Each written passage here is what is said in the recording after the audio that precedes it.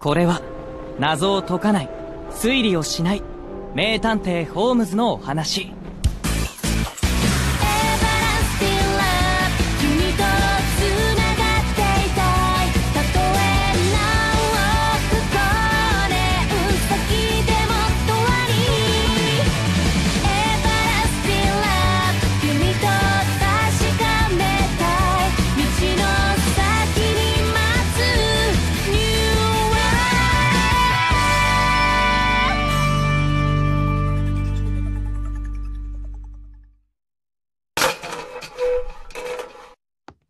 僕の名前はハドソン。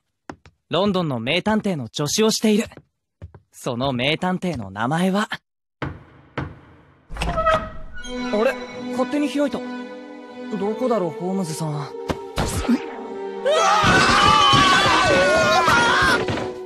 俺を虫けらのように踏むななんで床で寝ているんですか？床は俺のベッドだベッド？床をベッドにしているのはシュランカ僕お酒飲みませんゾンビかな？ぜ僕がゾンビに。俺だ。床をベッドにしているのはダメな人の塊ですね。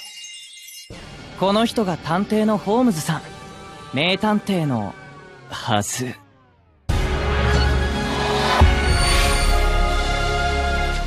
うちに依頼が来ているものです。正直どうでもいいような案件ばかりで。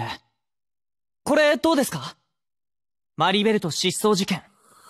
何人もの名探偵と警察が2年間捜査していますが、未だ未解決です。ホームズさん寝ないでくださいご飯はまだか？さっき食べましたよ。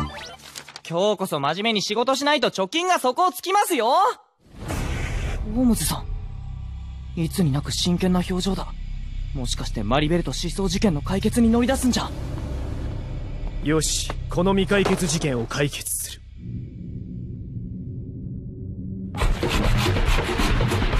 何してるんですか？未解決事件が解決に向かっているのワンダフルの捜索正直どうでもいい仕事です。逃げられましたね。